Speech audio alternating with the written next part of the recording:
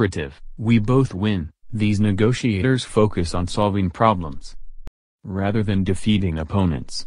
Everyone involved in the transaction works together to find solutions that are satisfactory to both sides. Which negotiating style is better? That depends on the kind of person you are, what your objectives are, and how much time you have. Most folks opt for cooperation because they know that the world is round. What goes around nearly always comes back either to haunt you or to help you. Why